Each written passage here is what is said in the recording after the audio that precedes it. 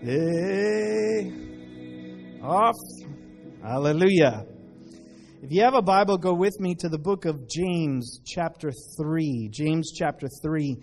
And we started a new series a couple of weeks ago just called Seeds and what God is wanting to really show us and really impart into us that we, and I'm going to really plant this in, pardon the pun, but I'm going to plant this in of how important it is that we know that we were not created to divide, to subtract. We were created to multiply. We were created to produce something. We were created so that God uses us so that we do something for Him.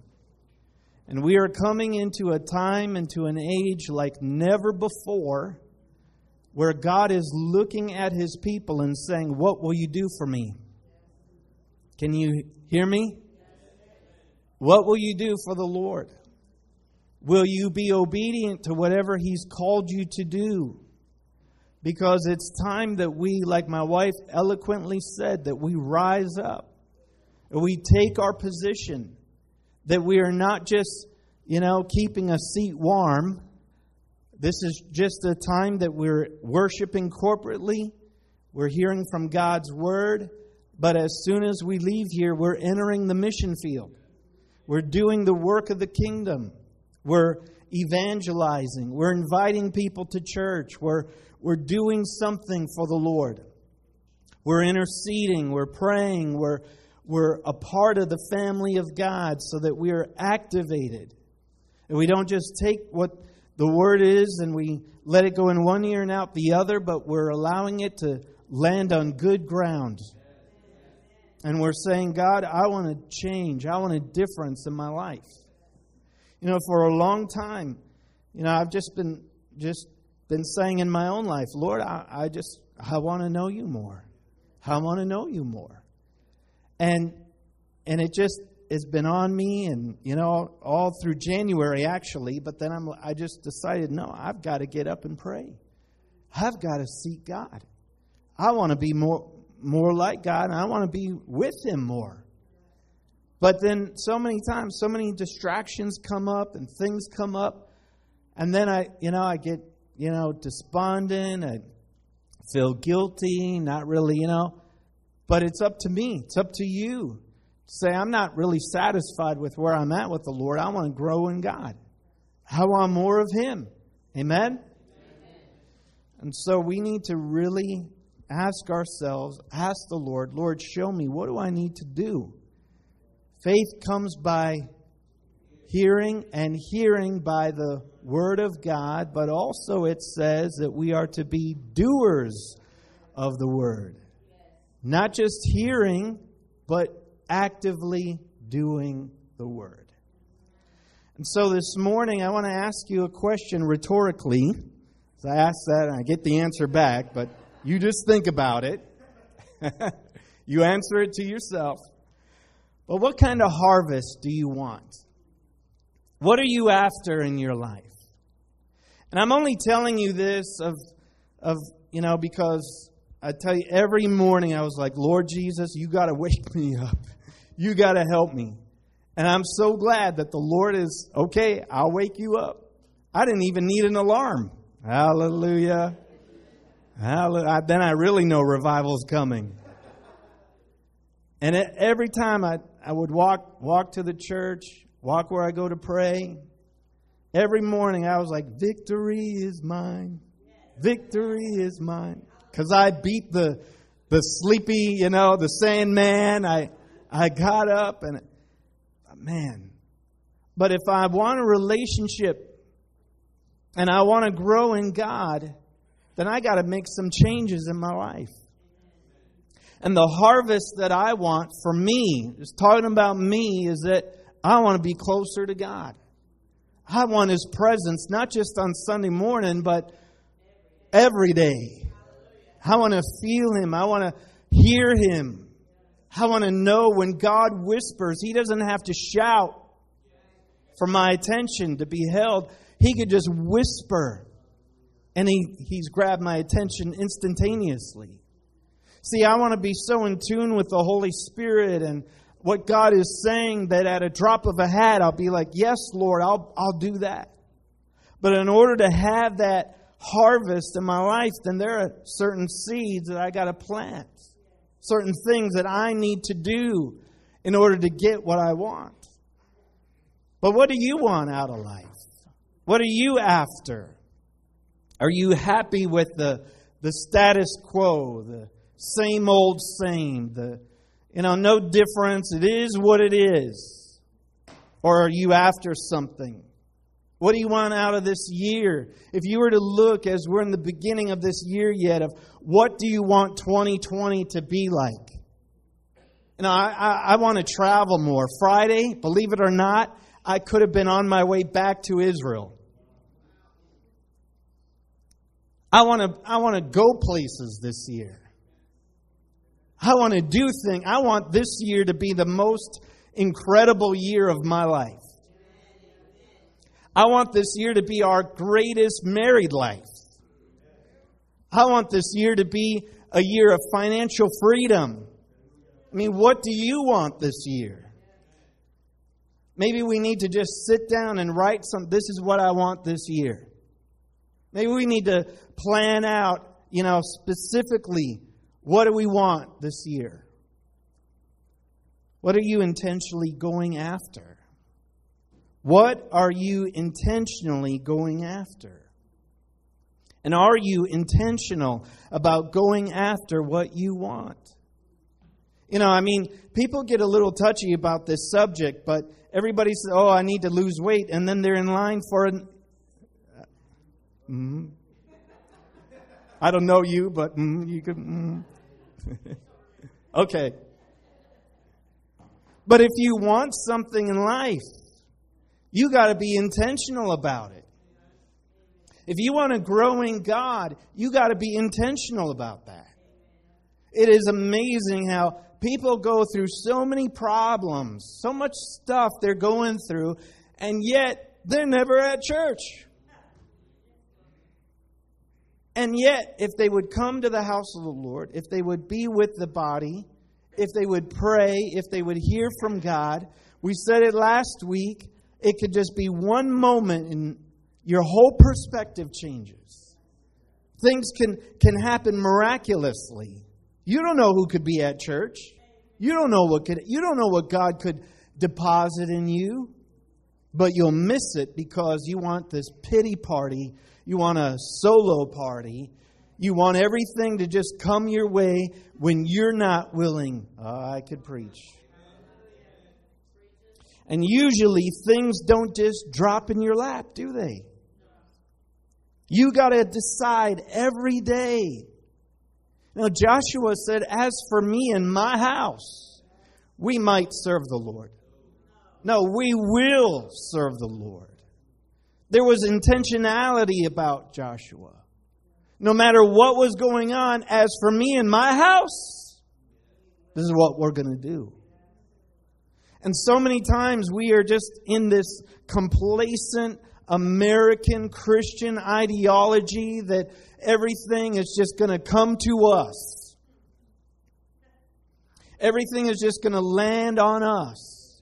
And we don't have to do anything about it. But God is saying, no, you got to go after it. You got to press in. You got to you got to activate your faith. You've got to make certain decisions. Oh, I'm always depressed. Oh, yeah, well, who are you hanging around with? You know?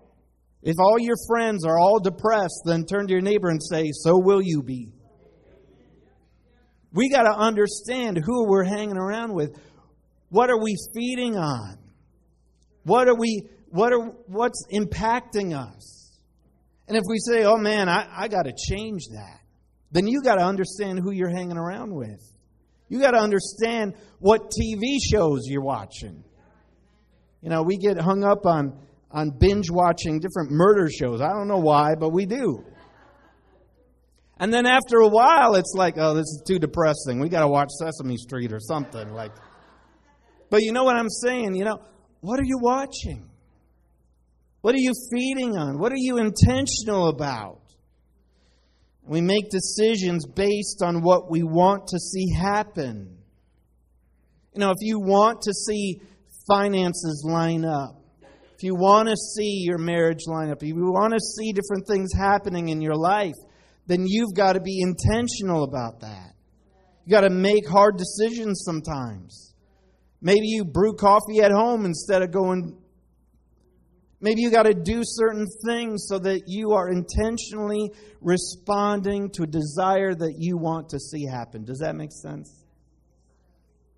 What's the message? James chapter 3, I love this new version. A few of you are getting turned on to it too. It's the Passion Translation. It says in James 3:18, "Good seeds of wisdom's fruit will be planted with peaceful acts by those who cherish making peace. Let me read that again. Good seeds of wisdom's fruit will be planted with peaceful acts by those who cherish making peace. This morning, I want to talk about two different harvests or two different things that we, we want to go after. And I'm speaking for you. And I hope you're after this too. What are they? Wisdom and righteousness. I don't know about you, but as I grow older, I don't want just my age to determine my wisdom. I want wisdom to go beyond my age.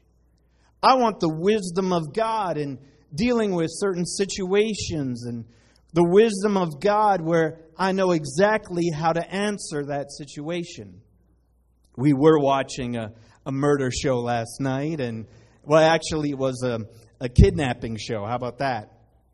And there was a woman who her daughter was kidnapped. It was an amazing story. I know I'm sure you know about it. And she went on to a, a certain TV show, and there was a psychic there who said that her daughter was already gone. And she began to believe that word to the point where her heart was literally crushed, and they even believed that she died of a broken heart. wouldn't you know that her daughter was still alive, and they finally found her and rescued her? My point of saying all that is to really understand who are we listening to? What are we believing? What are we putting our eyes on? What are we listening to each and every day? Are we responding to what God is saying or to what other people are saying about a situation? I want the wisdom of the Lord. I want to know what God is saying so that I could speak and not some random, hyper, weird, supernatural kind of craziness. And let me say this be careful who you're mixing with Jesus. Let me say that again. Be careful who you're mixing with Jesus. Jesus is not like Buddha. He's not like Krishna. He's not, not like this or that. He's not on the same level as any other so called deity. He is God and God alone. I said, He is God and God alone. I remember this story years ago of a pastor who was doing a funeral, and the funeral home was trying to be ecumenical and pleasing everybody, and they had a picture of, of Buddha and Muhammad and Krishna and Jesus all on the same level on the wall, just to please everybody. The thought was, he is not like anyone else. They're all dead and buried. Jesus was dead, buried, but rose again. He is the only one who rose from the dead. And he is greater than any other concoction that man could come up with. And his wisdom is what we need. We need the wisdom of the Lord. What is wisdom? The quality of having experience, knowledge, good judgment, and the quality of just being wise. Have you ever been around someone like this? Where you just can ask them anything and they'll know exactly what to say or do? When I was a kid, I never thought my dad was wise. You just don't think that your father has anything, you know, your, your parents, they can't even turn the phone on. But the older I get, the more I realize how wise my, fa- my father is. Able to speak into any situation. And growing up as a kid, I thought, yeah, that's crazy. But now that I ask him something and I think about what he's saying, and man, he's right on. I want that right on. I want the wisdom of God. I want to be able to discern what God is saying and what He's doing. And well, I don't know about you. I know that mistakes are good and they teach you and train you, but not that wisdom keeps you out of making mistakes, but even when you're in a mistake, you can have the wisdom of God to net. Is that making sense? You're navigating and understanding how how to how to work through this. You see, I want the wisdom of the Lord as I'm raising three kids, and wisdom of God of being a husband, wisdom as I'm pastoring, wisdom as I'm, I'm doing different things. I want the wisdom of God. And James says here, the fruit, the fruit is, yes, amen. That is no problem to me at all, or family. The fruit is wisdom. But the seeds, James says, are good seeds planted with peace. So I want to tell you today the first way that you can have the wisdom of God is by sowing seeds of peace. Do you realize that every time that you are in a conflict or you're in a situation where you could be sowing words of discourse, words of hatred, words of, of division, that that's not wise. But wisdom is sowing seeds of peace. Turn to your neighbor and say, Be careful of what you sow. I want to be one who sowed seeds of peace. Because that, as James is saying, is bringing up the fruit of wisdom. Listen to these verses. Proverbs 1 7 says, Fools despise wisdom and instruction. Proverbs 2 6 and 7 says, For the Lord gives wisdom, he stores up sound wisdom for the upright. Proverbs 3 7, Do not be wise in your own eyes. Proverbs 3:13 Blessed is the one who finds wisdom all her wisdom paths are peace. Proverbs 4 7 the beginning of wisdom is this get wisdom. You want wisdom in your life? You want to be more wise in the things of God? Then go after it. And how do we go after it? James says, start sowing seeds of peace. Peaceful acts. Peaceful acts. What are we after? We're after the wisdom of God. How do we get it? By sowing seeds of peace. Jesus said in Matthew 5 9, Blessed are what?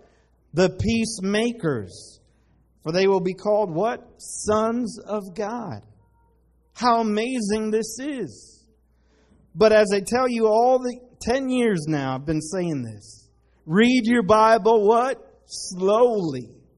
Because James says, if you love making peace, I've got a question for you. It's another rhetorical question. Do you love making peace? I've come to find out there are people that don't like peace. Everywhere they go, they're doing nothing but creating war after war after war. And it's usually a war of the words. They're just wanting to let everybody have it. Jesus said, Out of the abundance of your heart, your mouth speaks. Turn to your neighbor and say, Check your heart. If all you're doing is walking around just sowing words of war, then you got a war going on inside of you. You're always trying to bring in division and wars and rumors of wars. I also wrote down that somehow there are people who are more comforted by chaos than living peace filled lives. They have a, a sort of deficit when there's peace. They can't handle silence, they can't handle peace. So then what do they do? They go and make war because that's where somehow they're comforted by that. Let me tell you something. We need the peace of God. We're living in such a chaotic world, and I'm telling you, it's only going to get worse. There's only going to be more wars, more earthquakes, more tsunamis, more economic breakdowns, more racial dividing. How do you know that? Oh, yeah, I read it in the Bible. It's going to get worse. It's not going to get any better until all of a sudden the Antichrist is going to come and say, Peace, peace, peace, and it's all going to be false. We need to have peace in our hearts. We need to be able to respond to this chaotic world with peace. But I wrote down that peace has a price, doesn't it? If you love making peace, then you also love losing battles. Your peace is based on how much you love making peace. So here's some traits. You need to be humble. Hum- humility is something that we joke about it, but it's funny how you could pray for peace and somehow instantaneously God will answer that prayer request. He'll either make you trip in front of people or something, you know, you'll spill your coffee all down your blouse or something will happen and, and he'll just, okay, you asked for humility, here it is. We also need to be teachable. And there's a lot of people that aren't willing to be teachable, that aren't willing to say, you know, Lord, you're trying to show me something, teach me something. It may even be through someone that you know God has placed in your life, but you're just not willing to be teachable. How about this? You got to love not getting your way. So many times it's all about me. It's all about me, Jesus. You got to have your opinion spoken. You got to win the argument. You got to have your way. But when you love making peace, you got to be willing to say, Not my will, but your will be done. I don't need to win this argument in order for peace to come. I don't need to say all the, the things that are over somebody's head so that they, you know, no. I also wrote down it's not being selfish, but serving others, per, preferring others. If we want to really love making peace, just as we're saying here, what is the harvest? The harvest is wisdom. Some of the wisest things you could do is keep your mouth shut and be quiet and be still and let God fight your battles. Let God take care of that situation.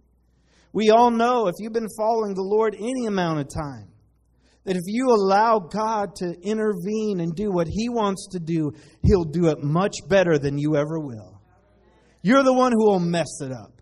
You're the one who will get emotional and be outrageous and letting your argument and your words fly. But then you allow God to move. Oh, He can do things like no one else can. We got to let God fight some battles. In fact, we got to let Him fight all our battles. We got to let Him do whatever He needs to do and just be wise about things. Not, not interact with people quickly and, and just process things and pray through things and ask God, how do I how do I handle this, Lord? Trust me, He'll give you wisdom.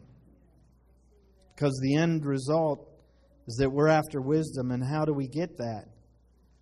Through peace. Sowing peace wherever we go. Blessed are the peacemakers.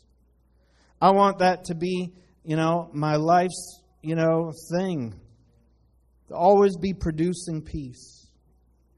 To be wherever I'm at, sowing peace into people's lives. Not being a part of the argument, not being a part of the.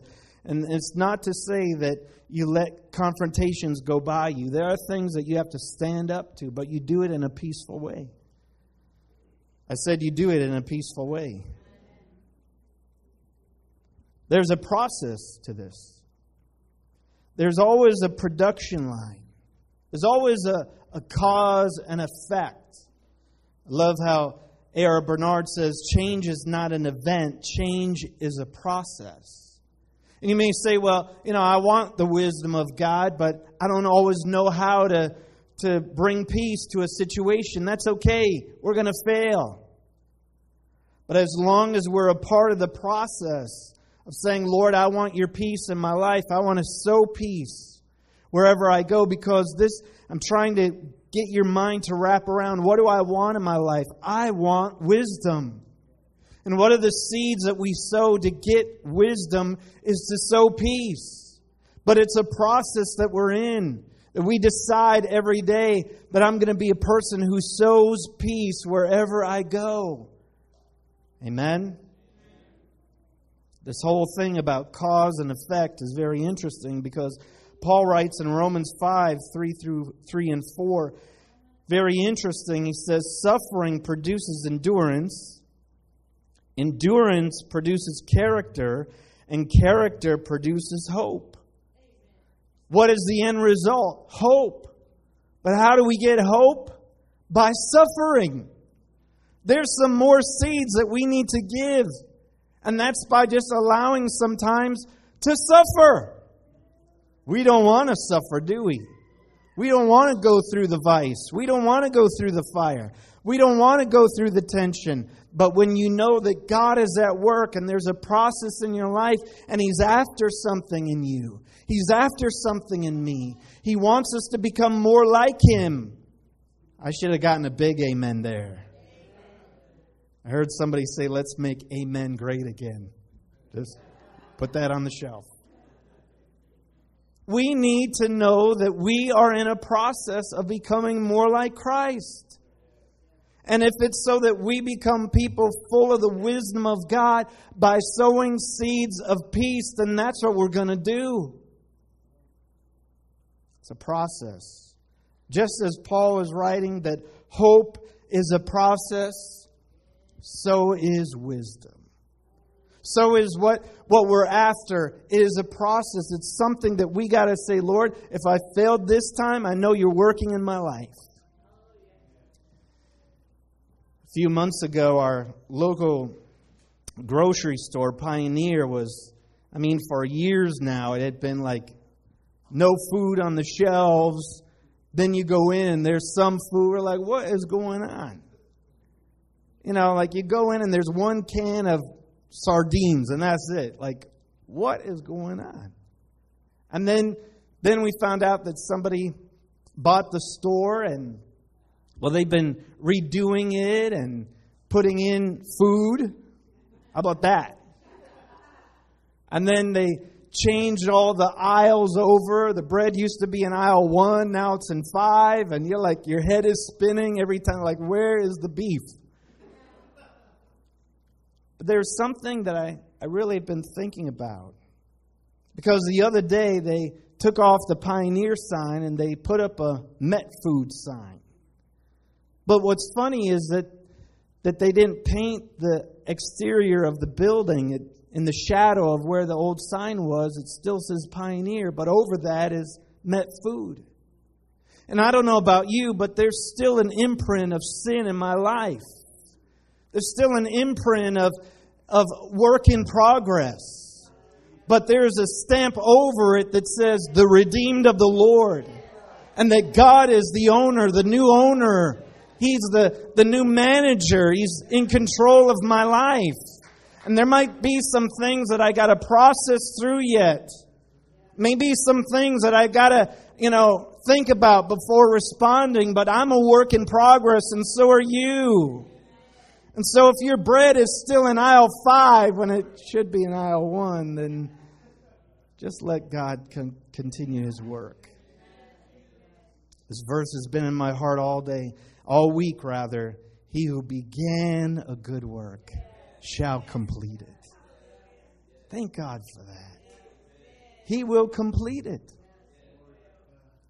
But what am I after? The wisdom of God. And how do I get the wisdom of God? By sowing seeds of peace. Here's the second harvest righteousness. For it says in the ESV version in James 3:18, and a harvest of righteousness is sown in peace by those who make peace. What's interesting is that it's one seed, but two harvests. One seed, two harvests. One seed, two harvests. Isn't God amazing? One seed, two harvests. One is wisdom, one is righteousness. How do we get them? Peace. It's amazing when you think about what you can get out of one seed. What is righteousness? Righteousness is just having a right standing with God. There's a second definition state of him who is as he ought to be. The state of him who ought to be. The third is the condition acceptable to God. Proverbs 11:18 says the wicked earns deceptive wages, but one who sows righteousness gets a sure reward. Isaiah 32:17 says, "And the effect of righteousness will be peace." How about that? And the result of righteousness, quietness and trust. I think it's worth re- repeating that verse. Isaiah 32 17. And the effect of righteousness will be peace, and the result of righteousness, quietness and trust. When you are aligned with God, there's peace. Maybe you saw it years ago, it's a play on words, but no peace, N O peace, N O Jesus. But K N O W peace, no peace, K N O W Jesus. The whole idea is when I'm aligned with God, there might be chaotic situations coming up, but because I'm aligned with Him, I've got peace that passes all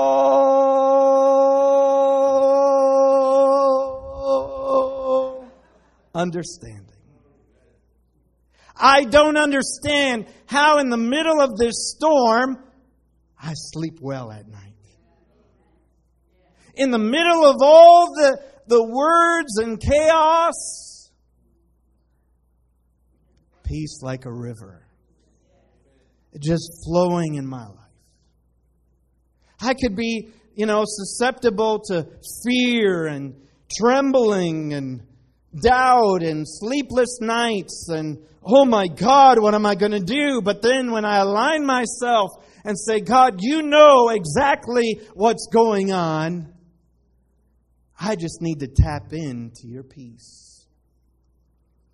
Because when we're rightly aligned with God, there is peace. So you have to ask yourself, how much peace do I have in my life? And then ask yourself, how much Jesus do I have in my life? Because the barometer is if you don't have as much peace as you know you could have, well, then you don't have as much Jesus as you should have.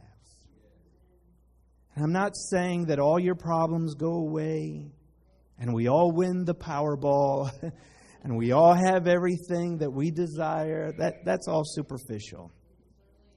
Peace does not come because you have so much in the bank.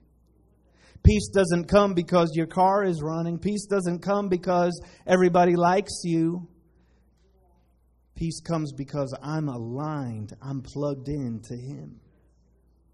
And no matter what I'm going through, as long as I keep my eyes on Him and I align myself to Him, how do I do that? By being in His Word, by seeking His face, by being intentional. God, you know all these things that are going on, but I have decided I'm going to plug into you. It's funny how we are so, you know, it's just crazy how technology is has all of the the bad like tentacles of it. One of them, just thinking now, is not in my nose, but just one of them right now is that we're always making sure that our phones are what? charged up. and oh, the panic when it comes down to red. Oh, Jesus, what are we going to do? What if we were that way with our walk with God? What if we, we were just very cognizant and aware of our power supply? That instead of some stupid phone making sure that we could like something, I mean, our right thumb should be so, you know, right? It should be like all pumped up, you know, like the right one should be like, I'm all pumped. Oh, I'm weak, you know, because I'm playing. But it's like all we do is stroll. And then, oh man, I don't have any power on the phone. And we look, at, where, where's the power? Oh, there, there's one. Henry, there's one. There's one. One over there. Have you seen that funny thing these people did in an airport? They put a sticker, the sticker on the wall of a, of a power plug, of an outlet. And people are going to the sticker trying to plug in. We do that in the spiritual.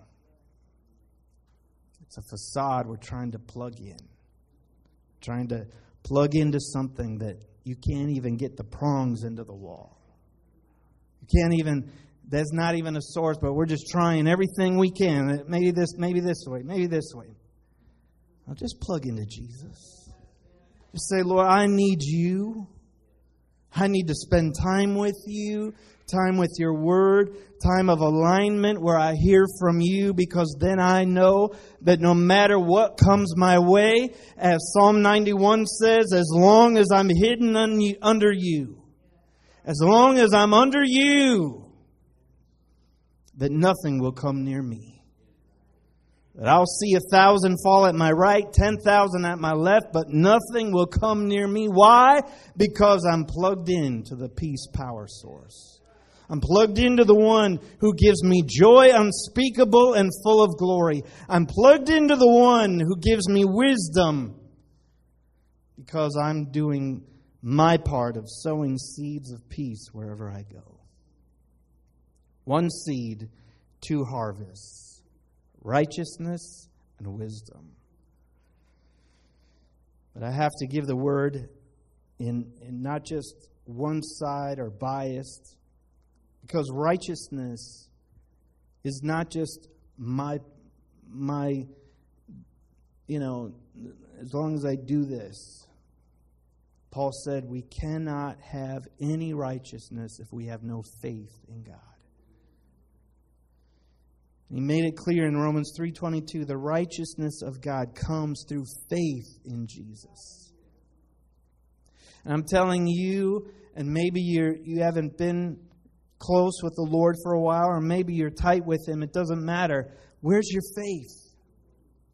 May our faith always be in the Lordship of Jesus Christ.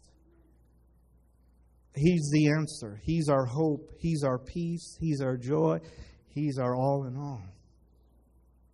But the greatest effect of us sowing seeds of peace is wisdom and righteousness. Father, I thank you for your word today. Lord, I pray that, God, we would have a, a clarity and understanding. That, God, if we're after more righteousness and we're after more wisdom, that, God, you would enable us to sow seeds of peace. And it might even be in, in natural relationships where we could be very quick to argue or respond in a fleshly way. But God, I pray that by the Holy Spirit you would remind us to sow seeds of peace. Lord, I pray that as we said, that it's a process and sometimes we'll win and sometimes we'll fail, but God, we are a work in progress. And I pray, Lord God, that we would come to an understanding that Lord, when we do our part and we sow seeds of peace, just as James said, that we will reap a harvest of wisdom and righteousness. And Lord, I pray that if there's anyone here in the sound of my voice that does not have a right standing with God, Lord, your word says that if we believe in our heart and confess with our mouth that Jesus is Lord, we'll be saved. It begins by just having faith in you. And Lord, if there's anyone here that would just say, Lord Jesus, come into my life, be my Lord and Savior. Help me to follow you all the days of my life. I want to have a right standing, a good standing with God. Lord, we want a right standing with you because we have a reverence and a fear of you. We want to follow you. We want to be a, a disciple of Christ. We want to we want to walk in your in your footsteps, Lord. Lord, so many times we fail, but God, I pray that you would you'd remind us of the, the pioneer grocery store. Lord, it's a process. And you'll help us. Lord, that we would always remember that there's a stamp of redeemed over the past. That, Lord, everything has been washed away and we are new creations in Christ. And I pray, Lord God, that, that we would just get plugged into you. Help us to make concerted effort, to be intentional. I want to spend more time with you. Whatever that looks like, help us, Lord. Help us to be in your word more and to be students of the word to pray and seek you and just be with you.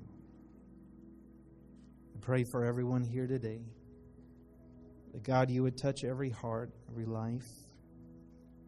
I pray, Lord God, that as we go throughout this week, that we'd be very attuned to your Holy Spirit. Pray that you would protect, watch over, and keep us pray that we would be on fire for God, sold out, radical, and standing up for the truth, sowing seeds of peace, reaping a harvest of wisdom and righteousness. And I bless your church today, God. I bless them, Lord, with the strength and knowledge of God. I bless them, Lord, with the peace that passes all understanding when the fight comes home that they would have peace. I pray, Lord God, that every situation that we're facing, Lord, externally, internally, we would know that, God, you've got this, and the battle is yours. I pray, Lord God, that as we go, that you would bless us. May the favor of God be upon us. We love you and praise you. In Jesus' mighty name I pray. Amen and amen. Thanks for coming.